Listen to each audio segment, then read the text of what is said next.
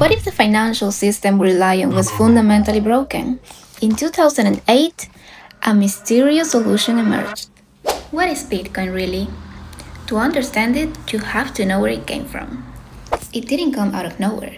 Bitcoin was born after decades of failed experiments, advances in cryptography, and the growing distrust in centralized systems. In the 90s, a group of cryptographers and hackers known as the cypherpunks started working on tools to free people from surveillance and censorship. They believed in using code as a shield against centralized power. 2008 came and the global financial system collapses. Banks are bailed out, people are losing trust in the institutions.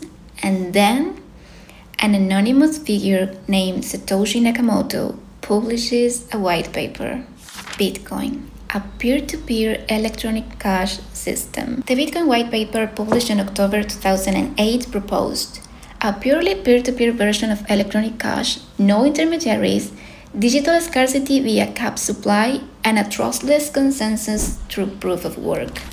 On January 3rd of 2009, Bitcoin goes live. Satoshi mined the first block, the Genesis block. Early adopters included cryptographers, libertarians, coders, digital misfits. One early transaction was two pizzas for 10,000 bitcoins. Bitcoin slowly gained traction. In 2010, opened the first real exchange.